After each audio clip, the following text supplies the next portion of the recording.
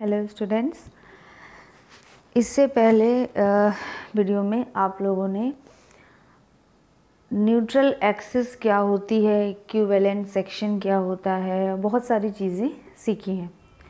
अब current video में आप लोग ये सीखेंगे कि क्रिटिकल न्यूट्रल एक्सिस कैसे फाइंड आउट करते हैं एक्चुअल न्यूट्रल एक्सिस कैसे फाइंड आउट करते हैं अलग अलग सिचुएशंस में। और इसके बाद मोमेंट ऑफ़ रेजिस्टेंस एक बीम के थ्रू कैसे कैलकुलेट किया जाता है, ये भी सीखेंगे। परसेंटेज ऑफ़ स्टील कैसे कैलकुलेट करते हैं, ये भी देखा जाएगा। और लीवर आर्म क्या होता है, कैसे कैलकुलेट किया जाता है, इतनी चीज़ें आप लोग सीखेंगे। ठीक? तो न्यूट्रल एक्सिस न्यूट्रल एक्सिस की वैल्यू कैलकुलेट करने के लिए सबसे पहला सिचुएशन, जबकि हमें कंक्रीट और स्टील पे लगने वाला एक्चुअल स्ट्रेस पता हो। तो कंक्रीट पर लगने वाला एक्चुअल स्ट्रेस होता है, हम लोग रिप्रेजेंट करते हैं सिग्मा सी से। और ये तब की कंडीशन है जब हमें सिग्मा सी और सिग्मा एस स्टील पर लगने वाला एक्चुअल स्ट्रेस सिग्मा एस से रिप्रेजेंट किया जाता है। तो जब हमें सिग्मा सी और सिग्मा एस एक्यूरेटली पता होगा, तब हम जो करंट मेथड है, उसका यूज़ करेंगे। अच्छा सिग्मा सी क्या होता है? गिवन लोडिंग की वजह से बीम पर लगने वाला एक्चुअल स्ट्रेस कंक्रीट पर लगने वाला एक्चुअल स्ट्रेस कंक्रीट के एक्सट्रीम फाइबर पर लगने वाला एक्चुअल स्ट्रेस और सिग्मा टी क्या होता है? सॉरी सिग्मा एस क्या होता है? स्टील के सेंटर पर लगने वाला एक्चुअल स्ट्रेस सिग्मा एस होता है. सिग्मा सी बी सी क्या होता है? कंक्रीट के एक्सट्रीम फाइबर पर लगने वाला मैक्सिमम परमिसिबल स्ट्रेस है। और इसी तरह सिग्मा एस टी क्या होता है? Maximum permissible stress acting on centre of the reinforcement sigma S T sigma C की वैल्यू एक्चुअल वैल्यू जो सिग्मा सी की है, वो ज़ीरो से लेकर सिग्मा सी बी सी तक वेरी कर सकती है। इसी तरह सिग्मा एस की वैल्यू ज़ीरो से लेकर सिग्मा एस टी तक वेरी कर सकती है। इससे ज़्यादा नहीं हो सकती। अगर इससे ज़्यादा हो, होने लगेगी होगी ही नहीं पहली बात तो अगर होती है तो ये माना जाता है कि सेक्शन जो है वो फेल हो चुका है। ठीक है। अब देखिए जो करंट सिचुएशन आपके सामने दी गई है इस सिचुएशन में एक सेक्शन बनाया गया है। इसका थिकनेस जो है, वो क्या है? बी है। इफ़ेक्टिव डेप्थ डी है। न्यूट्रल एक्सिस एन पर है। और बचा हुआ जो डिस्टेंस है न्यूट्रल एक्सिस से सेंटर ऑफ़ द रेनफोर्समेंट के बीच का जो डिस्टेंस है, वो है डी माइनस एन डी क्या है? इफ़ेक्टिव डेप्थ है। टोटल डेप्थ क्या है? कैपिटल डी है। Capital D minus small D क्या है? इफ़ेक्टिव कवर है। इतनी चीज़ें आपको पता है। अब एक चीज़ और कि ये जो न्यूट्रल एक्सिस है न्यूट्रल एक्सिस स्मॉल एन को हम लोग K D N equal to K D भी रिप्रेजेंट करते हैं, जिसमें से की, के क्या होता है? न्यूट्रल एक्सिस डेप्थ फैक्टर होता है। ठीक मतलब small K equal to N by D होता है। नॉर्मली हम लोग एन को एक्चुअल डेप्थ बोल एक्चुअल न्यूट्रल एक्सिस डेप्थ बोलते हैं और एन सी को क्रिटिकल न्यूट्रल एक्सिस डेप्थ बोलते हैं। अभी दो टर्म आपको अलग अलग बताए जा रहे हैं, लेकिन इन दोनों का आपस में क्या सिग्निफिकेंस होता है, अभी तक मैंने ये एक्सप्लेन नहीं किया है। हम इसे भी एक्सप्लेन करेंगे। ओके ये स्ट्रेस स्ट्रेन डायग्राम जो है, वो ऐसा बनेगा, ये पहले एक्सप्लेन किया जा चुका है। ठीक? ये जो डिस्टेंस बचती है, ये डी माइनस के डी हो जाएगी। तो अब देखिए, ये आपके सामने दो ट्रायंगल आपको दिख रहे हैं, एक ये ट्रायंगल और एक ये ट्रायंगल और दोनों ट्रायंगल क्या हैं? एक दूसरे के सिमिलर हैं। तो इसमें हम लोग सिमिलर ट्रायंगल का रूल अप्लाई कर सकते हैं। जब हम लोग सिमिलर ट्रायंगल का रूल अप्लाई करेंगे तो हमें क्या मिलेगा? Sigma C divide by N या फिर K D sigma C divide by K D equal to sigma S by M divide by D minus K D यही चीज़ ये देखिए आपके सामने लिखी हुई है। Sigma C divide by N equal to sigma S by M D minus N similar triangle से।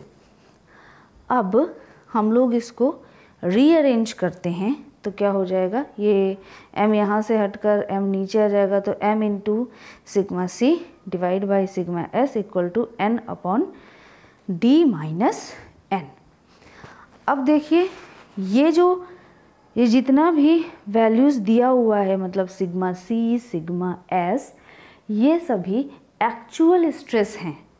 मतलब लोडिंग की वजह से एक्चुअल स्ट्रेस क्या आएगा? ये निकाल रहा है।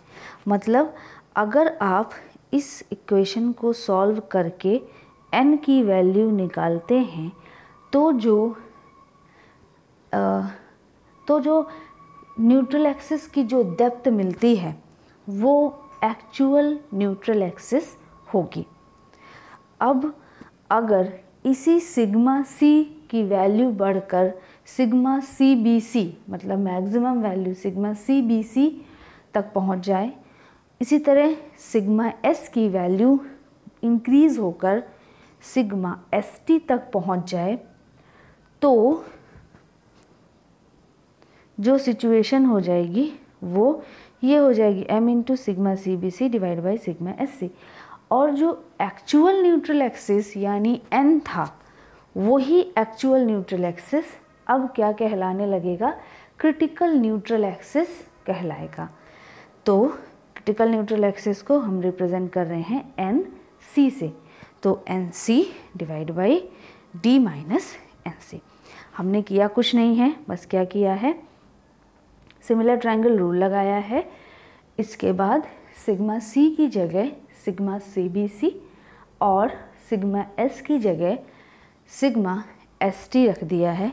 तो एन जो है एक्चुअल न्यूट्रल एक्सिस जो है, वो क्रिटिकल न्यूट्रल एक्सिस में कन्वर्ट हो जाएगा।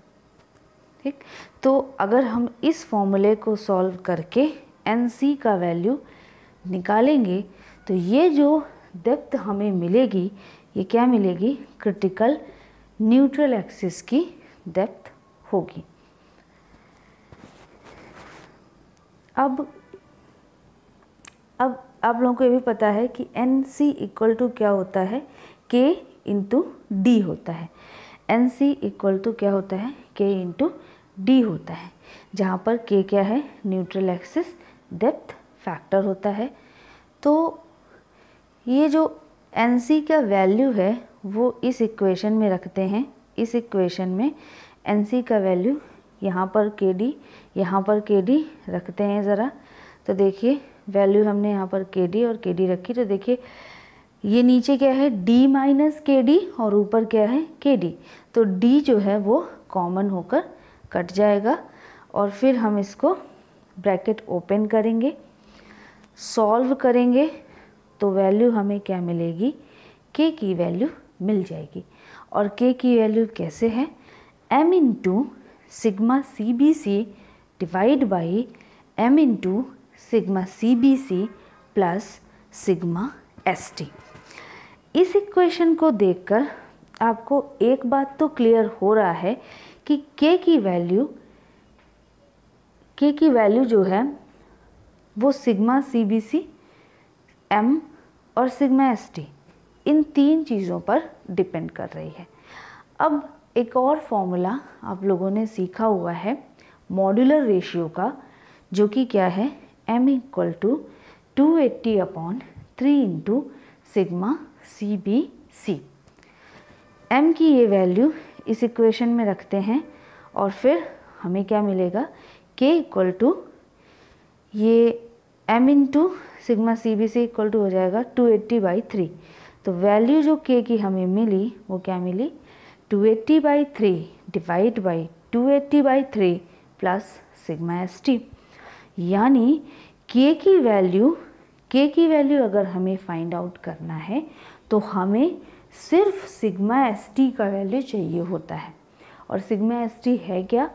Maximum permissible stress in steel है। तो यही चीज़ आगे लिखी गई है कि के की वैल्यू जो है, वो ग्रेड ऑफ़ कंक्रीट पर बिल्कुल डिपेंड नहीं करती है, क्योंकि के की वैल्यू फाइंड आउट करने के लिए आपको फॉर्मूला क्या यूज़ करना है? Two eighty by three divide by two eighty by three plus sigma S T ये फॉर्मूला यूज़ करना है।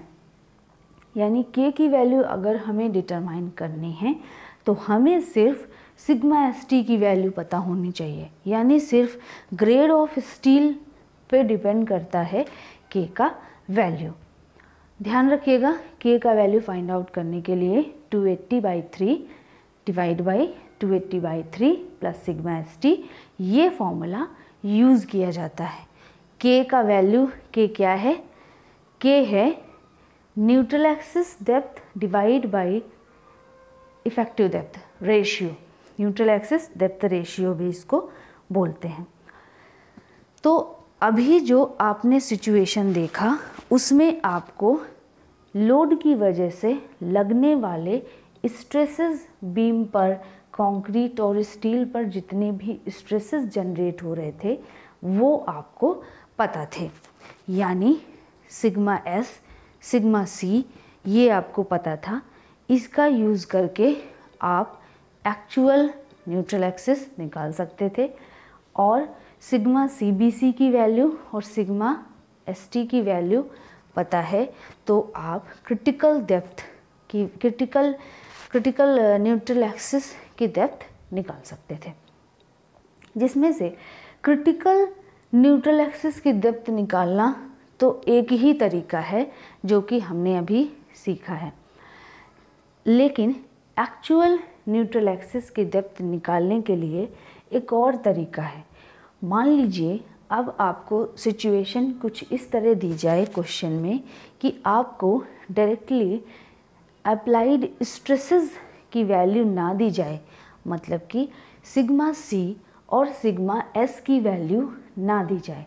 अगर ऐसा है तो अब आप लोग प्रीवियस मेथड से न्यूट्रल एक्सिस की डेप्थ नहीं निकाल सकेंगे। अब दू, कोई दूसरा मेथड हमें चाहिए होगा। तो अगर स्ट्रेसेस नहीं गिवन हैं आपको तो आपको बीम की डायमेंशंस यानी small B small D capital D और एरिया ऑफ़ स्टील यानी टी ये वैल्यूज़ अगर गिवन होंगी तो।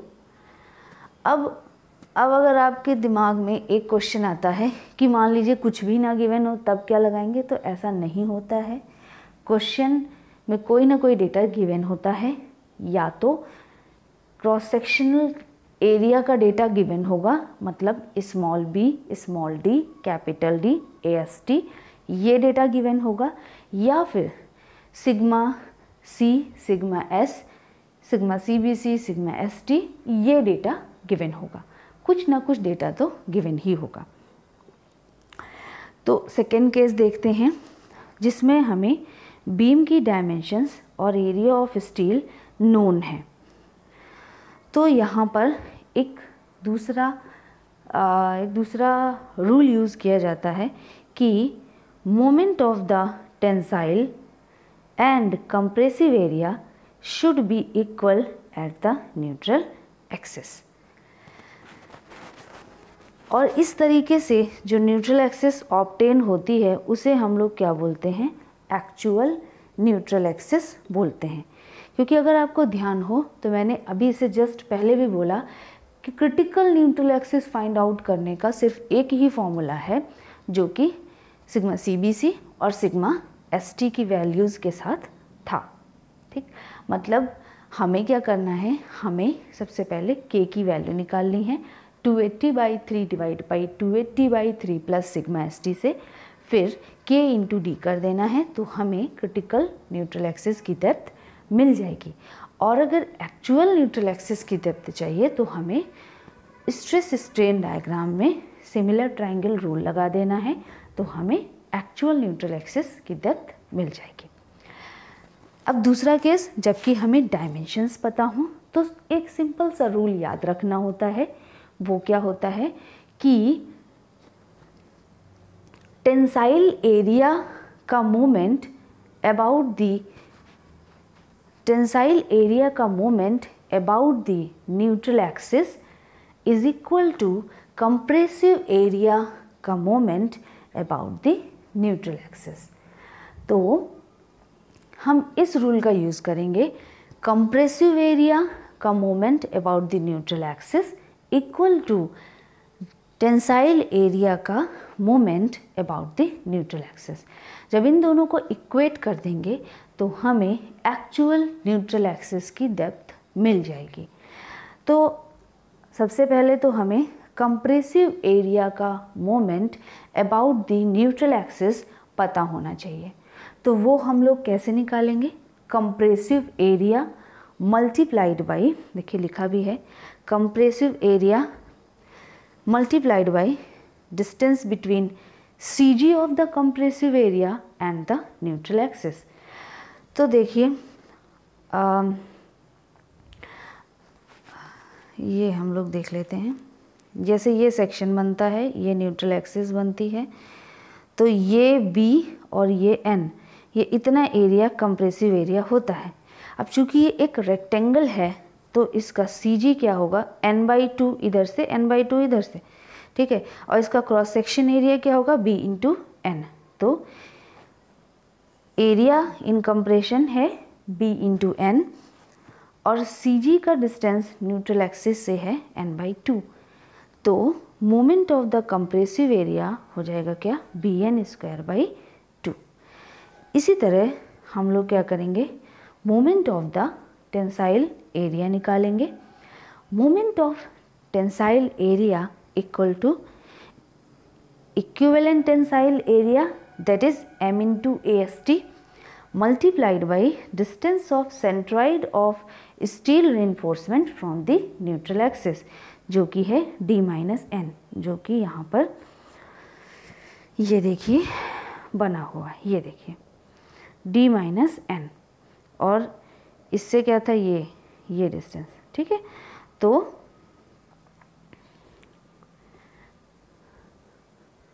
ये देखिए, m into A S T into D minus N अब हमें न्यूट्रल एक्सिस की वैल्यू चाहिए तो हमें क्या ध्यान रखना है कि कंप्रेसिव एरिया का moment about the neutral axis equal to tensile area का moment about the neutral axis compressive area का moment B N square by two अभी अभी ऊपर ये देखिए कैलकुलेट हुआ है। ये देखिए ये B N square by two तो B N square by two equal to this value M into A S T D minus N अब इस इक्वेशन को सॉल्व करेंगे और इससे एन की वैल्यू निकालेंगे।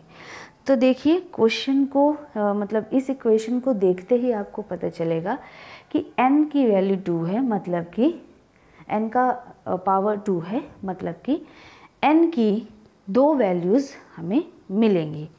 तो जो एन की सिर्फ़ एक वैल्यू होगी, जो पॉजिटिव वैल्यू मिलेगी, और वही पॉजिटिव वैल्यू हमारी एक्चुअल न्यूट्रल एक्सिस की की डेप्थ को रिप्रेजेंट करेगी। तो न्यूट्रल एक्सिस के डेप्थ डिटर्मिनेशन के दो तरीके आपने सीखे हैं, बल्कि वो दो तरीके नहीं हैं तो अलग अलग सिचुएशंस होने पर न्यूट्रल एक्सिस कैसे फाइंड आउट करते हैं, मैं एक बार समराइज़ कर देती हूँ कि जब हमें actual neutral axis find out करना होता है तो हमारे पास सिंपल एक फॉर्मूला होता है कि पहले हम स्मॉल के की वैल्यू निकालते हैं। स्मॉल के की वैल्यू कैसे निकालते हैं? 280 by three divide by two eighty by three plus sigma S T. इससे हम लोग टाइप ऑफ़ स्टील से सिग्मा एस टी निकालते हैं, फिर के की वैल्यू निकालते हैं, फिर के और डी का मल्टीप्लाई कर देते हैं, इफ़ेक्टिव डेप्थ का मल्टीप्लिकेशन कर देते हैं तो हमें एन सी यानी क्रिटिकल डेप्थ की वैल्यू मिल जाती है। लेकिन अगर हमें एक्चुअल न्यूट्रल एक्सिस की डेप्थ चाहिए और हमारे पास कंक्रीट और स्टील पर लगने वाला स्ट्रेस, यानी सिग्मा सी और सिग्मा एस पता है तो हम ट्रायंगल रूल अप्लाई करके एन की वैल्यू, यानी एक्चुअल न्यूट्रल एक्सिस की डेप्थ कैलकुलेट कर सकते हैं। और अगर हमें सिग्मा एस और सिग्मा सी की वैल्यू ना दी जाए और इनके प्लेस पर हमें बीम की डायमेंशंस यानी स्मॉल बी यानी थिकनेस ऑफ़ द बीम और स्मॉल डी यानी effective depth of the member और cross sectional area of steel यानी ए ये डेटा गिवन हो तो हम लोग सिंपल एक रूल याद रखते हैं, जो कि शुरुआत से लेकर अंत तक रहेगा। कि कंप्रेसिव एरिया का moment about the neutral axis equal to tensile area का moment about the neutral axis फिर हम लोग actual neutral axis find out कर पाते हैं। तो actual neutral axis find out करना दो अलग अलग सिचुएशंस के लिए और critical neutral axis find out करना, ये दो चीज़ें हमने सीख ली हैं। अब हमें नेक्स्ट चीज़ देखनी है जो कि क्या है? Percentage of steel percentage of steel को रिप्रेजेंट करते हैं कैपिटल पी टी से percentage of steel percentage of steel RCC section में मेनली ये होता है कि area of steel expressed in percentage of total area of concrete मतलब कि two S T by B T into hundred अब अभी अभी आप लोगों ने देखिए, ये फॉर्मूला देखा, ये फॉर्मूला देखा, इसी फॉर्मूले को हम लिख रहे हैं फिर से। लिखा, यही फॉर्मूला दोबारा लिखा, ठीक है?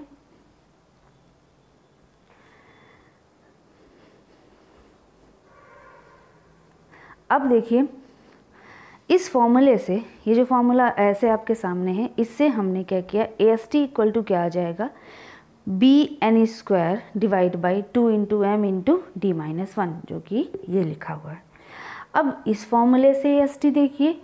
यहाँ से A S T equal to क्या हो जाएगा? P T into B D divide by hundred तो ये देखिए वैल्यू यहाँ पर। ये सामने लिख दिया गया है। अब हम इसे सॉल्व करेंगे। ये जो इक्वेशन है, ये भी एस टी ये भी एस टी दोनों बराबर कर दिया हमने। और इसको हमने सॉल्व किया और N equal to K D रखा N equal to K D रखा। तो अब ध्यान रखिएगा कि N N equal to K D नहीं होता N C equal to K D होता है। यानी क्रिटिकल क्रिटिकल न्यूट्रल एक्सिस को हम लोग के डी से रिप्रेजेंट करते हैं। तो यहाँ पर ये जो एन यूज़ किया जा रहा है, वो एन सी है। मतलब परसेंटेज ऑफ़ स्टील भी हम लोग neutral axis actual neutral axis और क्रिटिकल न्यूट्रल एक्सिस इनको सेम मानते हुए आगे काम कर रहे हैं। आपको अभी ये दोनों चीज़ें, मे भी थोड़ा कंफ्यूजिंग लग सकती हैं, लेकिन जैसे जैसे अभी ये टॉपिक ये टॉपिक ख़त्म होते ही जैसे ही दूसरा टॉपिक स्टार्ट होगा बैलेंस सेक्शन ये सब सेक्शन स्टार्ट होंगे ना ओवर इन्फोर्स अंडर इन्फोर्स तब आपको समझ में आएगा कि जो कंडीशंस हम लोग यूज़ अभी कर रहे हैं कि actual neutral axis equal to critical neutral axis ये हमारा बैलेंस्ड सेक्शन का रूल होता है। और बैलेंस्ड सेक्शन में actual neutral axis critical neutral axis same होता है। इसीलिए एन की जगह एन हम लोग रख रहे हैं। ठीक है? तो अभी के लिए एन और एन सेम है। तो देखिए, अगर जब हम इसको सॉल्व करेंगे N equal to K D रखा के डी रखा के डी रखा वैल्यू सॉल्व किया तो पी टी इक्वल टू क्या हमें मिला? K square upon M one minus K जिसमें से के क्या है? न्यूट्रल एक्सिस डेप्थ फैक्टर है और एम क्या है? मॉड्यूलर रेशियो है। मतलब कि अगर हमें न्यूट्रल एक्सिस डेप्थ फैक्टर और मॉड्यूलर रेशियो पता है तो हम परसेंटेज ऑफ़ स्टील कैलकुलेट कर सकते हैं और उससे ए का वैल्यू निकाल सकते हैं। तो ये डिज़ाइनिंग में करेगा ये फॉर्मूला नेक्स्ट हमारा जो टॉपिक आपको सीखना है, जो नेक्स्ट हमें वैल्यू जाननी है, वो है लीवर आर्म की। लीवर आर्म को स्मॉल ए अल्फ़ाबेट से इंडिकेट करते हैं। और लीवर आर्म होता क्या है? ये देखिए डायग्राम में देख लेते हैं।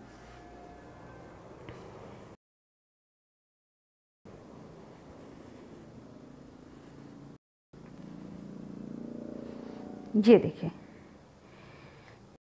ये जो डायग्राम बना है, इस डायग्राम में देखिए, ये जहाँ पर एक्ट कर रहा है कंप्रेसिव फोर्स और ये जहाँ पर एक्ट कर रहा है टेंसाइल फोर्स इन दोनों के बीच का जो डिस्टेंस होता है, उसे हम लोग बोलते हैं लीवर आर्म और रिप्रेजेंट करते हैं स्मॉल ए से और small A equal to J into D भी लिखते हैं, जिसमें से जे क्या होता है? जे होता है लीवर आर्म डेप्थ फैक्टर जिस तरह के होता है न्यूट्रल एक्सिस डेप्थ फैक्टर उसी तरह जे होता है lever arm depth factor A equal to K D लिखने का भी वही एडवांटेज है कि हमें दो अननोन्स की जगह सिर्फ़ एक अननोन सॉल्व करना पड़ेगा जब हम लोग क्वेश्चन सॉल्व करेंगे तब।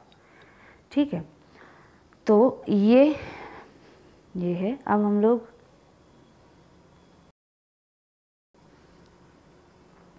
अब हम लोग ज़रा लीवर हम लोग कैसा मतलब कैसा आ, दिखता है कौन सी डिस्टेंस तरह इसका थोड़ा सा थ्योरी देख लेते हैं कि लीवर आर्म जो है वो क्या होता है? Compressive force resultant compressive force और रिजल्टेंट टेंसाइल फोर्स इन दोनों के बीच का डिस्टेंस होता है। इसे हम लोग इस डायग्राम में ए अल्फ़ाबेट से इंडिकेट करते हैं।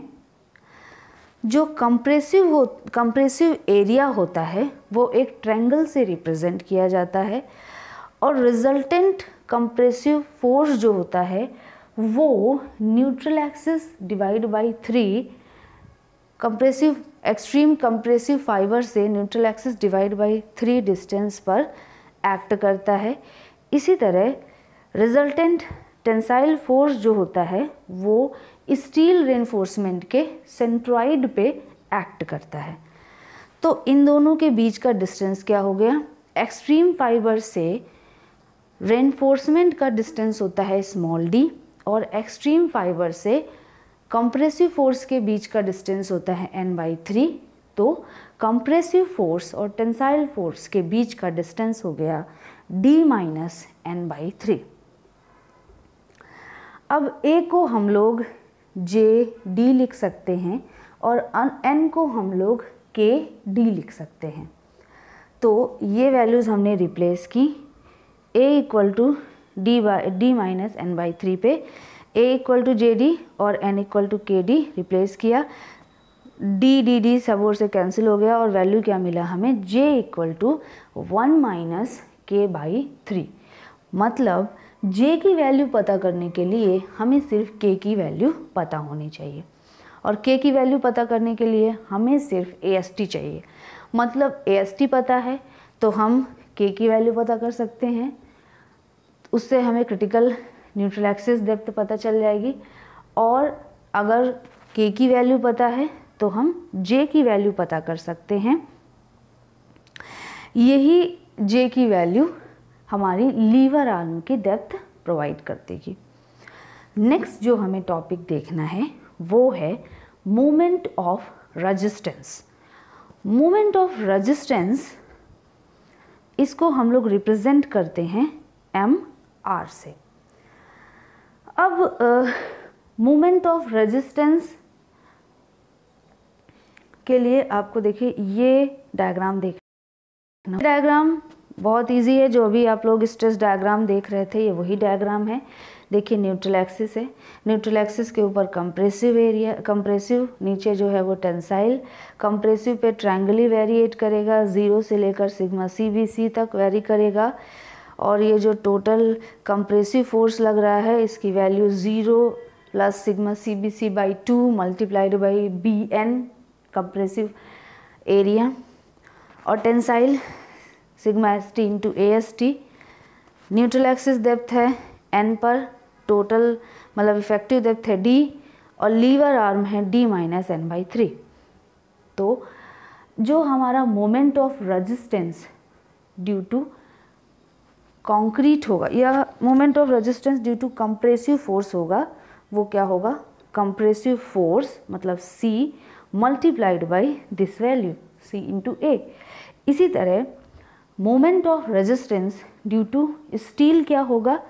Tensile force multiplied by A की वैल्यू होगी। ठीक? तो moment of resistance due to steel भी कैलकुलेट किया जाता है और moment of resistance due to concrete भी कैलकुलेट किया जाता है। अब ज़रा कुछ और चीज़ें भी देख लेते हैं। कि मोमेंट ऑफ़ रेजिस्टेंस होता क्या है? देखिए, कोई बीम है, किसी बीम पर कोई लोड लगाया गया। तो कोई भी बीम उस लोड को, जो लगने वाला लोड है, उसको कैसे बियर करती है? तो उस फोर्स जो बीम जो बीम पे जो लोड लग रहा है, उस लोड को रेजिस्ट करती है वो। कैसे रेजिस्ट करती है कि कोई भी लोड लगाएँगे तो उसमें बेंडिंग क्रिएट होगा। और उस बेंडिंग को अपोजिट बेंडिंग लगाकर वो अपोज करती है। और वो अपोजिट बेंडिंग लगता कैसे है? इसी कंक्रीट और स्टील के कपल के थ्रू लगता है। जैसे कि, अभी देखिए मोमेंट ऑफ़ रेजिस्टेंस जो है, वो क्या होता है? Resistance offered by the beam against external load चूँकि जो बीम सेक्शन आपने देखा इसमें कहीं कोई रिजल्टेंट फोर्स नहीं आया। क्या रिजल्टेंट फोर्स आता तो मतलब बीम का सेक्शन इस पर्टिकुलर डायरेक्शन में मूव करने लगता है ना? तो चूँकि मूव तो कर नहीं रहा, मैंने शुरुआत से लेकर अंत तक कभी ऐसा नहीं बोला कि मूव करेगा। तो सीधी बात है कि बीम का सेक्शन जो है वो इक्विलिब्रियम में है। कोई, क्योंकि न्यूट्रल एक्सिस के फाइबर न्यूट्रल एक्सिस के ऊपर और नीचे के फाइबर अपनी ही जगह पर हैं। पहला ही एजम्पन आपने देखा कि before bending and after bending जो है वो सेम होगा सेक्शन चेंज नहीं होगा। तो इसलिए रिजल्टेंट जो फोर्स है वो है ज़ीरो तो अब इस सेक्शन को देखिए, इसमें देखिए, इसमें कंप्रेसिव फोर्स का डायरेक्शन ये टेंसाइल फोर्स का डायरेक्शन ये। तो जब कोई रिजल्टेंट फोर्स नहीं लग रहा तो ये जो कंप्रेसिव फोर्स है और ये जो टेंसाइल फोर्स है, वो होंगे आपस में बराबर। यानी capital C equal to capital T होगा। ये दोनों फोर्सेस आपस में बराबर हैं। ये बात तो क्लियर हुई। सी और टी आपस में बराबर हैं। लेकिन अगर आप देखो तो ये एक फोर्स इस डायरेक्शन में, ये इक्वल एंड अपोजिट फोर्स अपने से कुछ डिस्टेंस पर लग रहे हैं तो उसकी वजह से क्या होगा? कपल जनरेट होगा। ये ऐसे, ये कपल जनरेट होगा। यही जो कपल जनरेट होता है, इसे ही हम लोग क्या बोलते हैं? मोमेंट ऑफ़ रेजिस्टेंस बोलते हैं। मतलब moment of resistance equal to क्या हुआ? Capital T into small a मतलब टी और सी के बीच में जो डिस्टेंस है, उसका मल्टीप्लिकेशन मतलब लीवर आर्म का मल्टीप्लिकेशन सी के साथ और टेंसाइल फोर्स का मल्टीप्लिकेशन टी के साथ। ये दोनों ही आपके मोमेंट ऑफ़ रेजिस्टेंस कहलाते हैं। तो अब देखिए टोटल कंप्रेशन टोटल कंप्रेशन की वैल्यू है ये zero plus sigma C B C by two into B into N और ये एक्ट कहाँ पे करेगा? टॉप से एन बाई थ्री पर एक्ट करेगा। इसी तरह टोटल टेंसाइल फोर्स जो है वो है sigma S T into A S T और ये कहाँ पर एक्ट करेगा? रेनफोर्समेंट के सेंट्राइड पर एक्ट करेगा। Moment of resistance equal to capital C into A मतलब compressive force multiplied by lever arm या फिर tensile force multiplied by lever arm के बराबर होगा। तो मोमेंट ये देखिए, ये ये इतना पूरा है कैपिटल सी ये है ए ये है कैपिटल टी ये है ए तो ये जो फॉर्मूला सामने दिखे, ये आपको याद ही कर लेने हैं। इसमें से स्मॉल ए इक्वल टू क्या है? D minus N by three है, वो हमने पहले ही बताया। अब यही जो ये वाला जो इक्वेशन है, ये वाला जो इक्वेशन है, इसको और सिंप्लीफाई किया जा सकता है। इसमें हम क्या कर सकते हैं? ये देखिए, इसमें n है तो n की जगह हम रख सकते हैं के डी और इसको सॉल्व कर सकते हैं। तो देखिए, n की जगह हमने रखा के डी रखा तो ये के डी ये एन था के डी ये एन था, यहाँ भी के डी तो डी माइनस के डी तो इससे डी कॉमन ले लिया, इस डी का और ये स्क्वायर हो गया तो डी स्क्वायर हो गया, और बी पहले से ही है के एक बाहर है, ये के माइनस ये। तो देखिए, ये ये ये फॉर्मूला पहले भी आया अभी अभी थोड़ी देर पहले ही ये फॉर्मूला भी डिराइव हुआ है J equal to one minus K by three नहीं ध्यान है तो मैं आपको अभी दिखा देती हूँ। ये ये formula j equal to one minus K by three ये वाला फॉर्मूला अभी डिराइव हुआ था। तो ये वाला यहाँ से d कॉमन हो जाएगा, यहाँ से डी ए तो अंदर क्या बचेगा? One minus K by three बचेगा। इसको हम लोग j लिख सकते हैं। तो ये क्या बचा? Sigma C by two into K into J into B D square इसमें से ये इतना जो पार्ट है, इसको हम लोग r से रिप्रेजेंट करते हैं। और आर को क्या बोलते हैं? Resisting movement R equal to capital R equal to sigma C B C into K into J चूँकि सिग्मा सी बी सी के और जे इन तीनों की वैल्यूज़ जो है वो क्रॉस सेक्शनल एरिया पे डिपेंड नहीं करती हैं। मतलब एक पर्टिकुलर कंक्रीट के टाइप और एक पर्टिकुलर स्टील के लिए इनका एक डिफाइंड वैल्यू होगा। जैसे कि अगर आपको ध्यान हो तो के का फॉर्मूला क्या होता है? 280 eighty by three divide by two eighty by three plus sigma S T sigma S T मतलब कि टाइप ऑफ़ स्टील अगर पता है तो सिग्मा एस टी पता कर सकते हैं। मतलब के की वैल्यू टाइप ऑफ़ स्टील पर डिपेंड करती है। किसी भी तरीके से के की value cross sectional area beam पे डिपेंड नहीं करती। इसी तरह जे की वैल्यू के पर डिपेंड करती है तो मतलब गिवन स्टील के लिए के फिक्स तो जे भी फिक्स और सी बी सी की वैल्यू कंक्रीट के टाइप पर डिपेंड करती है तो यानी अगर हमें कंक्रीट और स्टील फिक्स कर दें तो हम आर की वैल्यू निकाल सकते हैं। तो इस आर का वैल्यू टाइप ऑफ़ स्टील और टाइप ऑफ़ कंक्रीट के लिए फिक्स होगा। लेकिन अभी चूँकि आप लोग जस्ट सीख रहे हैं, इसलिए ये रिकमेंड किया जाता है कि अभी आप M R equal to R B D square वाला फॉर्मूला से थोड़ी देर, थोड़ा दूर रहें। M R equal to R V D square वाला जो फार्मूला है, ये पूरी तरह यूज़ किया जाएगा design of concrete structure second में। जब आप लोगों को बेसिक्स से दूर ले जाकर डायरेक्ट हम लोग स्लैब की डिज़ाइनिंग या फिर डैम की डिज़ाइनिंग रेनफोर्समेंट मतलब ये रिटेनिंग वॉल की डिज़ाइनिंग फाउंडेशन की डिज़ाइनिंग ये सब हमारा फोकस होता है। तब आप लोगों को बेसिक्स सिखाना हमारा फोकस नहीं होता है। तो अभी तो आप लोगों को चूँकि बेसिक्स सीखने हैं, इसलिए अभी आप M R equal to K V D square की वैल्यूज़ से दूर रहें। वैसे यही है कि के जे ये सब वैल्यूज़ जो हैं आर, ये सब वैल्यू कांस्टेंट होते हैं एक गिवन स्टील और कंक्रीट के लिए तो इन्हें हम लोग डिज़ाइन कांस्टेंट भी बोलते हैं। तो अभी जो आप करेंगे ना, वो ये वाला फॉर्मूला यूज़ करेंगे, ठीक है? ओके तो इतना इतना सीख लेने पर आप लोगों ने क्या क्या सीखा? मोमेंट ऑफ़ रेजिस्टेंस निकालना सीखा, लीवर आर्म निकालना सीखा परसेंटेज ऑफ़ स्टील निकालना सीखा, और एक्चुअल न्यूट्रल एक्सिस और क्रिटिकल न्यूट्रल एक्सिस की वैल्यूज़ निकालना सीखा अलग अलग कंडीशन के लिए। अब नेक्स्ट वीडियो में आप लोग क्या सीखेंगे? Balanced section under reinforce section over reinforce section इन सब के बारे में सीखेंगे। फिर हम लोग डिज़ाइनिंग के क्वेश्चंस के टाइप देखेंगे, किस टाइप के क्वेश्चंस आपको दिए जा सकते हैं। उनके प्रोसीजर उनके एग्जाम्पल्स ठीक है? तो अभी के लिए इतना ही, ठीक है? Thank you class